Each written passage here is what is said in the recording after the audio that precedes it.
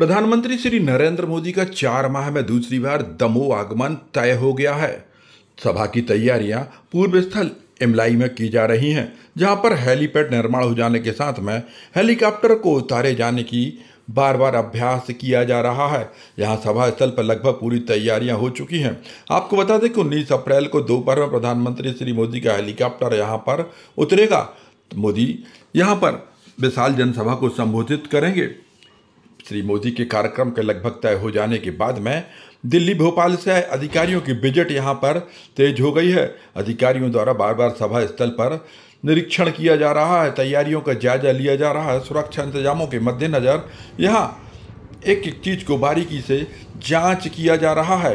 वहीं सभा को लेकर सामयाना तैयार होने के साथ ही लगभग सभी तैयारियाँ पूरी हो चुकी हैं। आप तस्वीरों को देखकर अंदाज़ा लगा सकते हैं कि किस तरह से पुलिस प्रशासन के अधिकारी कड़ाके की धूप और गर्मी में लगातार अलर्ट बने हुए हैं। यानी मोदी जी का अब तय माना जा रहा है।